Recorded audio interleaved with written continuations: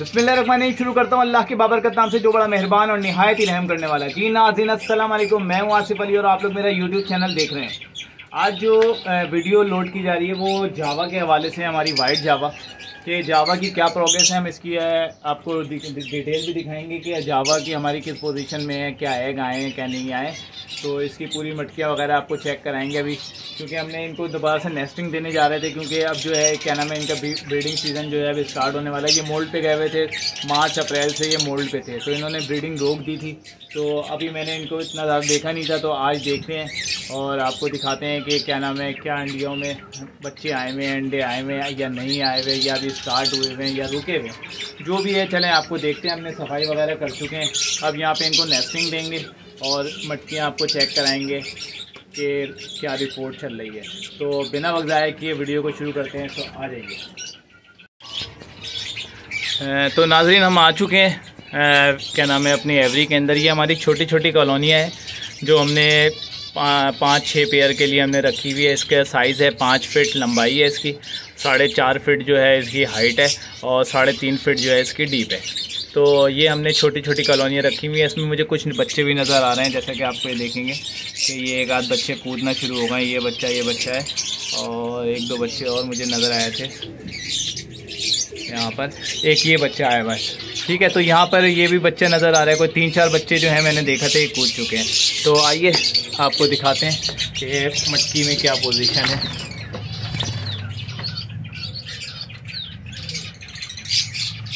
माशाल्लाह से माशाल्लाह से इसमें जो है, बच्चे आए हुए हैं और एग हैं। अच्छा इसके बाद हम इस वाली मटकी में देखते हैं। ये इसी मटकी के थे, बच्चे जो कूद चुके हैं। तो ये मटकी खाली है। इसके बाद ये मटकी में जो देख रहे हैं अम्मी, एक अंडा इसमें आ चुका है। इसमें मटकी में बैठ रही थी तो ये एक अंडा आ चुका है। उसके बाद हम आगे चलते हैं। ये मटकी में ये मटकी में भी एक अंडा आ चुका है। और यहाँ से सही तरीके से ज़रा बन नहीं पा रही है। तो हम इसको उतार के देखते हैं कि क्या पोजीशन है। माशाल्लाह माशाल्लाह से इसमें तीन बच्चे आए हुए तो हम इसको वापस लटका देते हैं।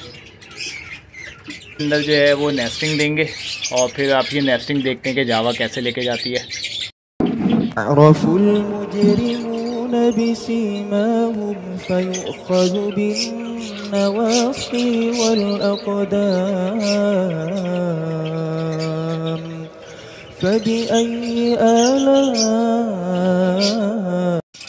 तो नाजिन ये कि अब जो है हमने घास ले आए हैं ये घास अब इनको देंगे अब नेस्टिंग इन्होंने शुरू कर दी है दो तीन पेयर ब्रीड कर चुके हैं जैसा कि आपको दिखाया ब्रीडिंग प्रोग्रेस क्या थी?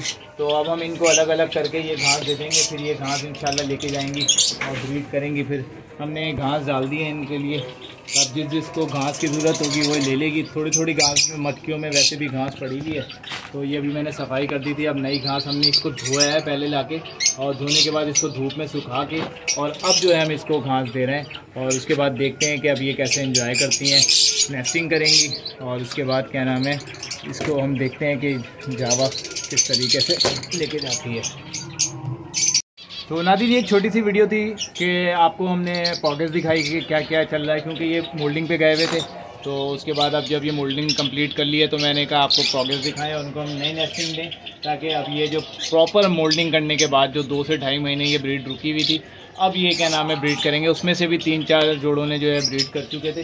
तो अब हमने इनको सफ़ाई वगैरह करके प्रॉपर तरीके से इनको नेस्टिंग दे दिया तो ये थी छोटी सी वीडियो उम्मीद करता हूँ कि आपको पसंद आई होगी वीडियो अगर पसंद आए तो लाइक शेयर सब्सक्राइब करिएगा। मिलते हैं नेक्स्ट वीडियो में। अपना बहुत ज़्यादा ख्याल रखिएगा। अल्लाह हाफिज़।